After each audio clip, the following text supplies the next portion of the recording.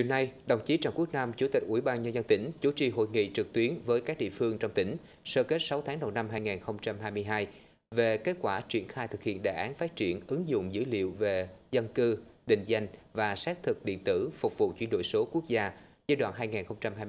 2022-2025, tầm nhìn đến năm 2030 trên địa bàn tỉnh, gọi tắt là đề án 06.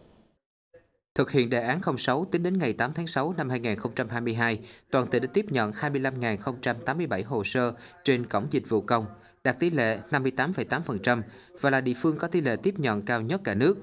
Tích hợp được 16 trên 21 thủ tục hành chính theo danh mục ban hành của Thủ tướng Chính phủ. Tại bộ phận một cửa cấp huyện, cấp xã, đều đã bố trí hệ thống công nghệ thông tin để giải quyết các thủ tục hành chính về các lĩnh vực đất đai, tư pháp, cư trú. Công tác tiếp nhận và giải quyết hồ sơ thủ tục hành chính trên cổng dịch vụ công được triển khai thực hiện nghiêm túc theo đúng quy trình quy định. 100% hồ sơ được tiếp nhận và giải quyết đúng hạn.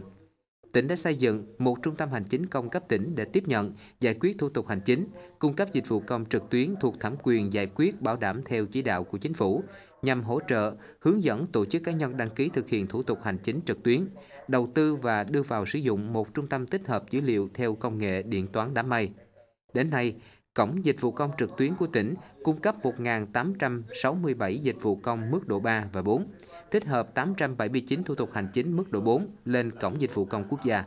Phát biểu kết luận hội nghị, đồng chí Trần Quốc Nam, Chủ tịch Ủy ban dân tỉnh, đánh giá cao tinh thần trách nhiệm, sự nỗ lực cố gắng và kết quả đạt được của các sở ban ngành địa phương trong triển khai thực hiện có hiệu quả các nhiệm vụ theo đề án 06 tại địa phương.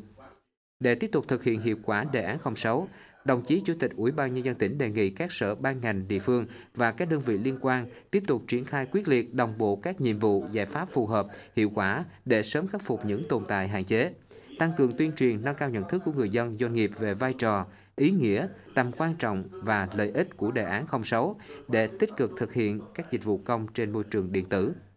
Ra soát, phát triển ứng dụng dữ liệu về dân cư, định danh và xác thực điện tử phục vụ chuyển đổi số quốc gia giai đoạn